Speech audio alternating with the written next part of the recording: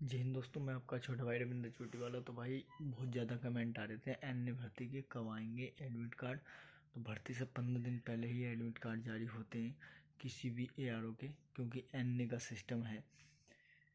Nursing assistant भाई, रोहतक में भर्ती चल रही है। अच्छा टाइमिंग दिया जा रहा। है पाँच तीस, पाँच चालीस सुनने में आ रहा है, जो यूट्यूबर बता रहे हैं और जो सोशल मीडिया वाले बता रहे हैं जो अपने भी संपर्क में कुछ व्यक्ति हैं, उनसे जानकारी ली है। और क्या नाम है, किसी भी भर्ती से पहले पंद्रह दिन पहले ही एडमिट कार्ड जारी होते हैं तो लगभग दो जनवरी या पाँच सात जनवरी तक एडमिट कार्ड जारी हो जाएँगे। मैं उस पर वीडियो बनाकर डाल दूँगा। तो भर्ती ऐसे पोस्टपोन्ड होती नहीं है। कुछ भाई कह रहे थे कि भर्ती पोस्टपोन्ड हो जाएगी, भर्ती पोस्टपोन्ड नहीं होगी। अच्छे से तैयारी करें और रोहतक की जानकारी मैं शाम तक दे दूँगा आपको।